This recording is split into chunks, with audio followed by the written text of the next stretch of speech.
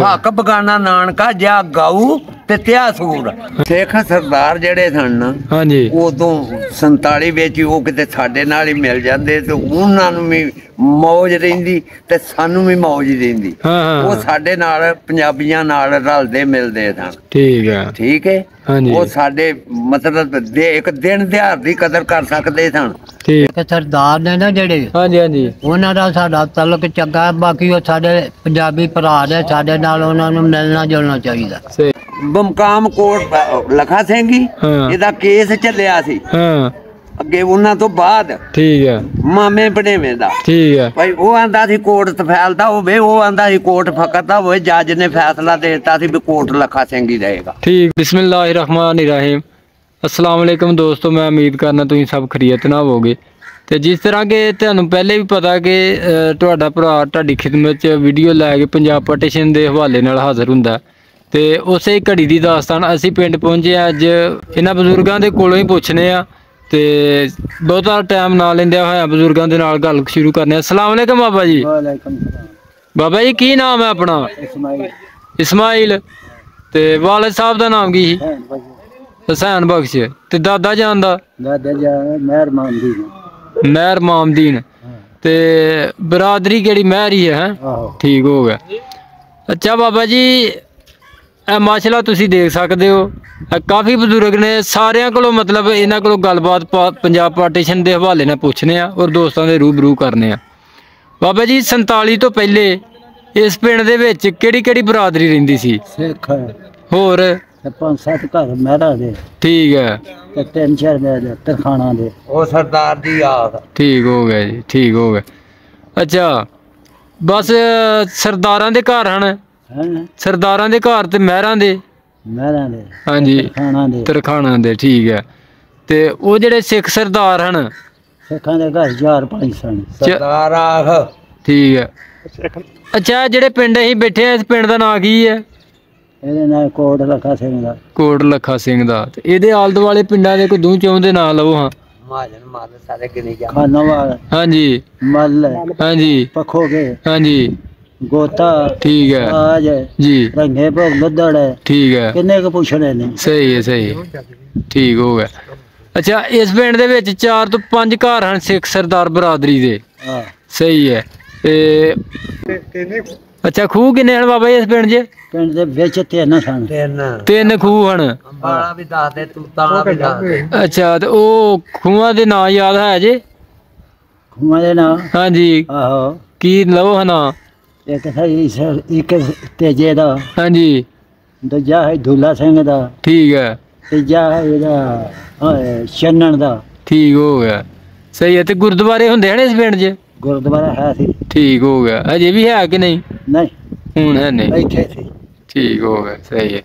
ਅੱਛਾ ਤੇ ਇਸ ਪਿੰਡ ਦੇ ਵਿੱਚ ਅੱਛਾ ਜਦੋਂ ਵੰਡਾਂ ਪਈਆਂ ਨੇ ਬਾਬਾ ਜੀ ਆਹੋ। ਉਦੋਂ ਕਿੰਨੀ ਉਮਰ ਸੀ ਤੁਹਾਡੀ? 13 ਸਾਲ ਦੀ। ਅੱਛਾ ਬਾਬਾ ਜੀ ਇਸ ਪਿੰਡ ਦੇ ਵਿੱਚ ਜਿਹੜੇ ਸਰਦਾਰ ਰਹਿੰਦੇ ਰਹੇ ਨੇ। ਉਹਨਾਂ ਦੇ ਨਾਂ ਯਾਦ ਹੈ ਨੇ ਤੁਹਾਨੂੰ ਆਹੋ। ਦੱਸੋ ਹਾਂ ਕੀ ਕੀ ਨਾਂ ਹਨ? ਜਿਹੜਾ ਹੈ ਨਾ ਉਹ ਘਰ ਇੱਕ ਹੈ, ਇਹ ਤੇਜਾ ਸਿੰਘ ਹਾਂਜੀ। ਠਾਕਰ ਸਿੰਘ ਹਾਂਜੀ। ਤੇ ਦੁੱਲਾ ਸਿੰਘ ਠੀਕ। ਤੇ ਪਾਲਾ ਸਿੰਘ ਠੀਕ ਤੇ ਹੈ ਸਰੈਣਾ ਵਾਹ ਜੀ ਵਾਹ। ਤੇ ਸਾਧੂ ਸਿੰਘ ਉਹ ਨਹੀਂ ਦੱਸਿਆ। ਉਹਨਾਂ ਦੇ ਪੁੱਤ ਹੋਣਗੇ ਅੱਗੋਂ। ਵਾਹ ਜੀ ਵਾਹ ਬੜੀ ਗੱਲ। ਲਓ ਜੀ ਦੋਸਤੋ ਹੁਣ ਇਹਨਾਂ ਬਜ਼ੁਰਗਾਂ ਕੋਲੋਂ ਕੋ ਥੋੜੀ ਬਹੁਤੀ ਇਨਫੋਰਮੇਸ਼ਨ ਲੈਨੇ ਆ ਕੋਟ ਲੱਖਾ ਸਿੰਘ ਦੇ ਵਿੱਚ ਜਿਹੜੇ ਸਰਦਾਰ ਰਹਿੰਦੇ ਸਨ ਉਹਨਾਂ ਦੇ ਨਾਂ ਸ਼ਾਂ ਪੁੱਛਨੇ ਆ ਹਾਂਜੀ ਬਾਬਾ ਜੀ ਤੁਸੀਂ ਦੱਸੋ ਹਾਂ ਕੋ ਨਾਂ ਉਹਨਾਂ ਦੇ ਸਰਦਾਰਾਂ ਦੇ। ਬੇਰੀ ਵਾਲੇ ਘਰ ਵਾਲੇ ਜਿਹੜੇ ਸਨ ਉਹ ਦੂਲਾ ਸਿੰਘ ਤੇ ਅਮਰ ਸਿੰਘ। ਠੀਕ ਹੋ ਗਿਆ। ਹੋਰ ਬਜ਼ੁਰਗੋ? ਬਲਾਈ ਵਾਲੇ ਘਰ ਵਾਲੇ ਜਿਹੜੇ ਸਨ ਉਹ ਅੰਬਰ ਸਿੰਘ ਸੀ। ਠੀਕ ਹੋ ਗਿਆ। ਬਾਬਾ ਜੀ। ਪੱਕਿਆਂ ਘਰਾਂ ਵਾਲਾ ਹੀ ਇਹਨਾਂ ਦਾ ਭਰਾ ਦੂਲਾ ਸਿੰਘ। ਪੱਕਿਆਂ ਘਰਾਂ ਵਾਲਾ ਹੀ ਠਾਕਰ ਸਿੰਘ ਉਹਨਾਂ ਦਾ ਹੀ ਭਰਾ। ਠੀਕ ਹੋ ਗਿਆ ਜਨਾਬ ਸਹੀ। ਬਜ਼ੁਰਗੋ ਪੱਕਿਆਂ ਘਰਾਂ ਵਾਲਾ ਹੀ ਪਾਲਾ ਸਿੰਘ। ਠੀਕ ਹੋ ਗਿਆ। ਪੱਕਿਆਂ ਘਰਾਂ ਵਾਲਾ ਹੀ ਸਰੈਣਾ ਉਹਨਾਂ ਦਾ ਪੰਜ ਭਰਾ ਸਨ। ਉਹਨਾਂ ਦਾ ਹੀ ਭਰਾ ਹੈ। ਉਹਨਾਂ ਦਾ ਹੀ ਭਰਾ। ਠੀਕ ਹੋ ਗਿਆ ਠੀਕ ਹੋ ਗਿਆ। ਅੱਛਾ ਬਾਬਾ ਜੀ ਉਹਨਾਂ ਦੀ ਵਰਤਨ ਭਾਜੀ ਕੈਸੀ ਇਸ ਪਿੰਡ ਉਹਨਾਂ 'ਚ? ਦੀ ਵਰਤੋਂ ਭਾਜੀ ਬਹੁਤ ਹੀ ਅੱਛੀ ਸੀ। ਠੀਕ ਹੋ ਗਿਆ। ਉਹਨਾਂ ਦਾ ਈਦ ਵਾਲਾ ਦਿਨ ਸੀ ਮੁਸਲਮਾਨਾਂ ਦਾ ਤੇ ਇਹਨਾਂ ਉਹਨਾਂ ਦਾ ਰਸੂੜਾ ਸਾਂਗ ਛਾਂਗ ਲਿਆ ਸੀ ਉਦੋਂ ਪੱਠੇ ਨਹੀਂ ਸਨ ਲੱਭਦੇ। ਠੀਕ ਹੈ। ਤੇ ਉਹ ਉੱਤੇ ਹੀ ਚਲੇ ਗਏ ਸਨ। ਜੇ ਆਹ ਦੌਰ ਹੁੰਦਾ ਉਧਰ ਦਾ ਜਾਂ ਇੱਧਰ ਦਾ। ਹਾਂਜੀ। ਉਹਨਾਂ ਜਾ ਕੇ ਉੱਤੋਂ ਫੜੇ ਸਨ। ਹਾਂ। ਲਸੂੜਾ ਛਾਂਗ ਦੇ। ਹਾਂ। ਤੇ ਉਹ ਪਰੇਸ਼ਾਨ ਹੋ ਗਏ ਸਨ ਮੁਸਲਮਾਨ। ਵੀ ਈਦ ਵਾਲਾ ਦਿਨ ਸੀ ਆਹਾਂ ਤੇ ਪੱਠੇ ਬਣਾਉਣੇ ਸਨ ਤੇ ਇਹ ਕੀ ਹੋ ਗਿਆ? ਉਹਨਾਂ ਆਖਿਆ ਪਰੇਸ਼ਾਨ ਨਾ ਹੋਵੋ। ਤਿੰਨ ਭਰਾ ਤੁਸੀਂ ਉਹ ਤਿੰਨ ਭਰੀਆਂ ਚੰਗੀਆਂ ਬੰਨੋ ਦੇ ਜਿਹੜੇ ਬਕਾਇਆ ਪਾਈ ਦੀ ਉਹ ਅਸੀਂ ਵੀ ਕੁਤਰਾ ਕਤਰਾ ਪਾ ਲਾਂਗੇ। ਏਡੇ ਚੰਗਾ ਉਹਨਾਂ ਦਾ ਅਸਰ ਰਸੂਖ ਸੀ। ਵਾਹ ਜੀ। ਨਾਲ। ਵਾਹ ਜੀ ਵਾਹ ਬਸ ਠੀਕ ਹੋ ਗਿਆ। ਇਹ ਗੱਲਾਂ ਬਜ਼ੁਰਗੋ ਤੁਹਾਡੇ ਨਾਲ ਕਰਨ ਦਾ ਮਕਸਦ ਇਹ ਹੈ ਕਿ ਆਉਣ ਵਾਲੀ ਨਸਲ ਨੂੰ ਪਤਾ ਲੱਗੇ ਕਿ 47 ਵੰਡ ਵੇਲਿਆਂ ਤੋਂ ਪਹਿਲੇ ਸਿੱਖ ਸਰਦਾਰ ਬਰਾਦਰੀ ਦਾ ਮੁਸਲਮਾਨਾਂ ਨਾਲ ਕਿਸ ਤਰ੍ਹਾਂ ਦਾ ਪਿਆਰ ਸੀ ਤਾਂ ਤੁਹਾਡੇ ਨਾਲ ਇਸ ਤਰ੍ਹਾਂ ਦੀਆਂ ਗੱਲਾਂ ਕਰੀਦੀਆਂ ਨੇ। ਹਾਂਜੀ ਬਾਬਾ ਜੀ। ਉਹਨਾਂ ਦੇ ਅਸੂਲ ਜਿਹੜੇ ਨੇ ਉਹ ਉਦੋਂ ਚੰਗੇ ਸਨ ਤੇ ਸਾਡੇ ਵੀ ਚੰਗੇ ਸਨ। ਉਸ ਵਕਤ ਦੇ ਹਿਸਾਬ ਨਾਲ। ਠੀਕ ਹੈ। ਹੁਣ ਅਜੇ ਵੀ ਉਹ ਵੀ ਪਛਤਾਉਂਦੇ ਨੇ ਤੇ ਅਸੀਂ ਵੀ ਪਛਤਾਉਂਦੇ ਹਾਂ। ਠੀਕ ਹੋ ਗਿਆ। ਜਿਹੜੀ ਉਦੋਂ ਸੀ ਨਾ ਪਿਆਰ। ਜੀ। ਹਾਂਜੀ। ਉਦੋਂ ਸੀ ਪੁਰਾਣੇ ਵਕਤ। ਹਾਂਜੀ। ਉਦੋਂ ਇੱਕ ਦੂਜੇ ਦੀ ਹਮਦਰਦੀ ਸਲੂਕ ਪਿਆਰ ਹੁਣ ਸਿਰਫ ਮਤਲਬ ਰਹਿ ਗਿਆ। ਹਾਂ ਬਿਲਕੁਲ ਸਹੀ ਗੱਲ। ਹੁਣ ਦੁਨੀਆ ਮਤਲਬ ਦੀ ਉਹ ਯਾਰ ਮਤਲਬ ਹੋਵੇ ਤੇ ਪਿਆਰ ਵੀ ਕਰਦੇ ਕਿਹੜੇ? ਜ਼ਾਲਮ ਦੁਨੀਆਦਾਰ। ਆਹ। ਜਿਹੜੇ ਜ਼ਾਲਮ ਨੇ ਉਹ ਮਤਲਬ ਨਾਲ ਹੀ ਪਿਆਰ ਕਰਦੇ ਨੇ ਮਜ਼ਲੂਮ ਜਿਹੜੇ ਨੇ ਬਗੈਰ ਮਤਲਬ ਤੋਂ ਕਰਦੇ ਨੇ। ਤੇਰੇ ਨਾਲ ਹੁਣ ਸਾਨੂੰ ਕੋਈ ਮਤਲਬ ਤੇ ਨਹੀਂ ਜੀ। ਨਾ ਜੀ ਮੈਂ। ਪੂਰਾ ਪਿੰਡ ਫਿਰ ਕੇ ਬੰਦਾ ਲੱਭ ਆਂਦਾ ਸਹੀ ਗੱਲ ਹੈ ਸਹੀ ਗੱਲ ਹੈ। ਵਾਹ ਜੀ ਵਾਹ। ਤੇ ਪਿੰਡ ਕੋਟ ਲੱਖਾ ਸਿੰਘ ਜਨਾਬ ਜੀ। ਇਸ ਵਕਤ ਦੇ ਵਿੱਚ ਜਿਹੜਾ ਦੌਰ ਦੇ ਹਿਸਾਬ ਨਾਲ ਬੰਦਾ ਹਿਸਾਬ ਲਾਏ ਨਾ ਤੇ ਮਾਸ਼ਾਅੱਲਾ ਬੜਾ ਸਲੂਕ ਹੈ ਇਹਨਾਂ ਲੋਕਾਂ ਦਾ ਔਰ ਅੱਲਾ ਸਲੂਕ ਹੀ ਰੱਖੇ। ਬੜੀ ਮੁਹੱਬਤ ਇਹਨਾਂ ਲੋਕਾਂ ਨੇ ਮੈਨੂੰ ਦਿੱਤੀ ਹੈ। ਇਹ ਚੜ੍ਹਦੇ ਪੰਜਾਬ 'ਚ ਬਜ਼ੁਰਗੋ ਤੁਹਾਡਾ ਇਹ ਮਸਲਾ ਵੀਡੀਓ ਦੇ ਜ਼ਰੀਏ ਪੈਗਾਮ ਜਾਣਾ। ਔਰ ਉਹਨਾਂ ਨੂੰ ਪਤਾ ਲੱਗੇਗਾ ਸਿੱਖ ਸਰਦਾਰ ਜਿਹੜੇ ਰਹਿੰਦੇ ਨੇ ਚੜ੍ਹਦੇ ਪੰਜਾਬ। ਅੱਛਾ ਬਾਬਾ ਜੀ ਇਹ ਕੋਟ ਲੱਖਾ ਸਿੰਘ ਪਿੰਡ ਇਹਦੇ ਆਲ ਦੁਆਲੇ ਜਿਹੜੇ ਪਿੰਡ ਇਹਨਾਂ ਸਾਰਿਆਂ ਪਿੰਡਾਂ 'ਚ ਸਰਦਾਰ ਰਹਿੰਦੇ ਹਨ? ਇਨਸ਼ਾਅੱਲਾ ਮੈਂ ਤੁਹਾਨੂੰ ਦੱਸਣਾ ਵਾ। ਦੱਸੋ। ਹਾਂਜੀ ਉਹ ਮੇਗੋਵਾਲ ਵੀ ਸਰਦਾਰਾਂ ਦਾ ਪਿੰਡ ਸੀ। ਠੀਕ ਹੋ ਗਿਆ। ਖਾਨੋਵਾਲ। ਠੀਕ ਹੈ। ਨਾਮਾ ਸਿੰਘ ਭਾਈ ਪੂਰੇ ਦਿਨਾਂ ਦਾ ਚੌਰੀ ਸੀ ਤੇ ਉਸ ਵਕਤ ਦਾ ਬਦਮਾਸ਼ ਸੀ ਤੇ ਮਾੜਿਆਂ ਲੋਕਾਂ ਨੂੰ ਤੰਗ ਨਹੀਂ ਸੀ ਕਰਦਾ। ਠੀਕ ਹੈ। ਮੱਲ ਦੀ ਇੱਕ ਹਸੈਨ ਬੱਚੀ ਤਾਜੀ ਵਿਆਹੀ ਸੀ ਤੇ ਉਹ ਮਕਲਾਵਾ ਲੈ ਕੇ ਗਏ- ਤੁਰੇ ਜਾਂਦੇ ਸਨ। ਹਾਂ। ਰਾਤ ਸੀ। ਠੀਕ ਹੈ। ਪੇਜੋ ਵਾਲੀ ਸਟੇਸ਼ਨ ਤੋਂ ਉਤਰ ਕੇ ਤੇ ਤੁਰੇ ਆਉਂਦੇ ਸਨ ਮੱਲ ਜਾਣਾ ਸੀ। ਠੀਕ ਹੈ। ਰਸਤੇ ਦੇ ਵਿੱਚ ਉਹ ਕਾਕੀ ਨੇ ਆਖਿਆ ਨਾਮਾ ਸਿੰਘ ਦਾ ਪਿੰਡ ਆ ਗਿਆ ਤੇ ਤੂੰ ਚੁੱਪ ਕਰ ਆਪਣੇ ਮਾਲਕ ਨੂੰ। ਹਾਂ। ਤੇ ਨਾਮਾ ਸਿੰਘ ਨੇ ਸੁਣ ਲਿਆ। ਠੀਕ ਹੈ। ਘੋੜੀ ਤੇ ਬੈਠਾ ਹਾਂ। ਉਹਨੇ ਆਖਿਆ ਕਿ ਉਹ ਹੀ ਗੱਲ ਕਰੋ ਜਿਹੜੀ ਪਹਿਲੋਂ ਕਰਨ ਦੇ। ਉਹਨੇ ਪਹਿਲੋਂ ਮੁਕਰ ਲੱਗੇ ਉਹਨੇ ਆਖਿਆ ਮੁਕਰੋ ਨਾ ਨਾਮਾ ਸਿੰਘ ਮੈਂ ਹੀ ਆ ਤੇ ਹੁਣ ਗੱਲ ਸੱਚੀ ਕਰੋ। ਹਾਂ। ਉਹਨੇ ਆਖਿਆ ਡਰਦਿਆਂ ਹੋਇਆਂ ਹੀ ਮੈਂ ਆਪਣੇ ਮਾਲਕ ਨੂੰ ਆਖਿਆ ਸੀ ਭਾਈ ਤੂੰ ਚੁੱਪ ਕਰ। ਹਾਂ। ਉਹਨੇ ਉਹਦੇ ਸਿਰ ਤੇ ਪਿਆਰ ਦੇ ਕੇ ਪੁੱਛਿਆ ਸੀ ਧੀ ਕਿਹਦੀ ਏ? ਉਹਨੇ ਆਖਿਆ ਫਲਾਣ ਦੀ ਆਪਣੇ ਪਿਓ ਦਾ ਨਾਂ ਲੈ ਕੇ। ਹਾਂ। ਮੱਲ ਵੱਜ ਪਿਆ। ਹਾਂ ਉਹਨੇ ਆਖਿਆ ਕਾਕੀ ਘੋੜੀ ਤੇ ਪਵੋ ਤੋਂ ਵੇਚੀ। ਹੂੰ। ਆਪ ਪੈਦਲ ਜਾ ਕੇ ਉਹਨਾਂ ਦੇ ਘਰ ਰਾਤ ਛੱਡ ਕੇ ਹੂੰ। ਨਾਮਾ ਸਿੰਘ ਨੇ ਹੂੰ। ਤੇ ਆਖਿਆ ਸੀ ਵੀ ਜਿੰਨਾ ਚਿਰ ਤੇਰੀ ਉਹਨਾਂ ਜ਼ਮਾਨਿਆਂ 'ਚ ਵੀ ਉਹਨੇ ਸੌ ਦਿੱਤਾ ਸੀ ਤੇ ਜਦੋਂ ਆਏਗੀ ਮੈਨੂੰ ਮਿਲ ਕੇ ਜਾਈ ਜਿੰਨਾ ਚਿਰ ਮੈਂ ਜਿੰਦਾ ਰਹਾਂਗਾ ਤੇਰੇ ਨਾਲ ਇਹ ਸਲੂਕ ਕਰਾਂਗਾ। ਵਾਹ ਜੀ ਵਾਹ ਵਾਹ ਜੀ ਵਾਹ। ਨਾਮਾ ਸਿੰਘ ਨੇ ਸੈਨ ਕੁੜੀ ਦੇ ਨਾਲ ਹੀ ਇੰਨਾ ਕੁ ਪਿਆਰ ਕੀਤਾ ਵੀ ਇਹ ਧੀ ਏ ਭਾਵੇਂ ਹਸਾਈ ਦੀ ਠੀਕ। ਹੁਣ ਐਸ ਦੌਰ 'ਚ ਨਾ ਉਧਰ ਰਹਿ ਗਿਆ ਇਹ ਦੌਰ ਨਾ ਇਧਰ ਰਹਿ ਗਿਆ ਸਹੀ ਗੱਲ ਹੈ ਤੇ ਸਹੀ ਉਹ ਗੱਲ। ਜਿੱਦਣ ਸਾਰੀ ਦੁਨੀਆ ਇੱਕੋ ਜਿਹੀ ਹੋ ਗਈ ਉਦਣ ਕਿਆਮਤ ਆਏਗੀ ਅਜੇ ਹੈ ਨੇ ਰੱਬ ਦੇ ਜੀਵ ਵਿੱਚ ਜੀ ਹੈ ਨਾ ਬਿਲਕੁਲ ਬਾਤ। ਬੜੀ ਬਾਤ ਹੈ ਉਹਨੇ ਆਖਿਆ ਆਪਣੀ ਨਜ਼ਰ ਵਿੱਚ ਹਿਆ ਪੈਦਾ ਕਰੋ ਹੋ ਸਕਦਾ ਜੇ ਤੁਹਾਡੀ ਮਾਂ ਭੈਣ ਬੀਵੀ ਔਰ ਬੇਟੀ ਬੁਰੀ ਨਜ਼ਰ ਸੇ ਬਚ ਸਕੇ ਸਹੀ ਗੱਲ ਹੈ ਅੱਛਾ ਬਾਬਾ ਜੀ ਵੰਡ ਵੇਲਿਆਂ ਤੋਂ ਪਹਿਲਾਂ ਇਹਦਾ ਤਹਿਸੀਲ ਜ਼ਿਲ੍ਹਾ ਕੀ? ਕੋਟ ਲੱਖਾ ਸਿੰਘ ਦਾ ਬਮਕਾਮ ਕੋਟ ਲਖਾ ਸਿੰਘ ਹਾਂਜੀ। ਦਾਖਾਨਾ ਗੋਤਾ ਫਤਿਹਗੜ੍ਹ ਜੀ। ਤਹਿਸੀਲ ਨਾਰੋਵਾਲ ਹਾਂ। ਜ਼ਿਲ੍ਹਾ ਸਿਆਲਕੋਟ। ਠੀਕ ਹੈ ਪਹਿਲੇ। ਹਾਂਜੀ। ਤੇ ਹੁਣ? ਹੁਣ? ਹਾਂਜੀ।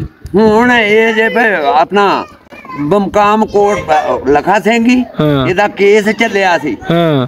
ਅੱਗੇ ਉਹਨਾਂ ਤੋਂ ਬਾਅਦ ਠੀਕ ਹੈ ਮਾਮੇ ਬੜੇਵੇਂ ਦਾ ਠੀਕ ਹੈ ਭਾਈ ਉਹ ਆਂਦਾ ਸੀ ਕੋਰਟ ਤਫੈਲਦਾ ਹੋਵੇ ਉਹ ਆਂਦਾ ਸੀ ਕੋਰਟ ਫਕਰਦਾ ਹੋਵੇ ਜੱਜ ਨੇ ਫੈਸਲਾ ਦੇ ਦਿੱਤਾ ਸੀ ਵੀ ਕੋਰਟ ਲੱਖਾ ਸਿੰਘ ਹੀ ਰਹੇਗਾ ਠੀਕ ਹੋ ਗਿਆ ਠੀਕ ਹੈ ਹੁਣ ਵਕਤੀ ਤੌਰ। ਕਾਮ ਕੋਰਟ ਲੱਖਾ ਸਿੰਘ।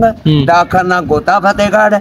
ਯੂਨੀਅਨ ਕਾਉਂਸਲ ਵੀ ਕੋਰਟ ਲੱਖਾ ਸਿੰਘ। ਠੀਕ ਹੋ ਗਿਆ ਤੇ ਜ਼ਿਲ੍ਹਾ ਤਹਿਸੀਲ ਨਾਰਵਾਲ ਅੱਛਾ ਉਹ ਕੋ ਦਾਸਤਾਨ ਸੁਣਾਓ ਮਤਲਬ ਹਾਂਜੀ ਬਾਬੇ ਗੁਰੂ ਨਾਨਕ ਨੇ ਆਖਿਆ ਸੀ ਹਾਂਜੀ। ਵੀ ਹਿੰਦੂ ਕਮਾਂ ਤੇ ਮੁਸਲਮਾਨ ਵੀ ਨਹੀਂ ਕਲਮਾ ਨਹੀਂ ਸੀ ਪੜਿਆ ਹਾਂ। ਭਾਈ ਦੋਵਾਂ ਮਜਬਾਂ ਨੂੰ ਸਮਝਾ ਗਿਆ ਸੀ ਆਪਣੇ ਸਰਦਾਰਾਂ ਨੂੰ ਵੀ ਹਾਂ। ਤੇ ਸਾਨੂੰ ਮੁਸਲਮਾਨਾਂ ਨੂੰ ਵੀ। ਠੀਕ ਹੋ ਹੱਕ ਬਗਾਨਾ ਨਾਨਕਾ ਜਾ ਗਾਉ ਤੇ ਤਿਆ ਸੂਰ।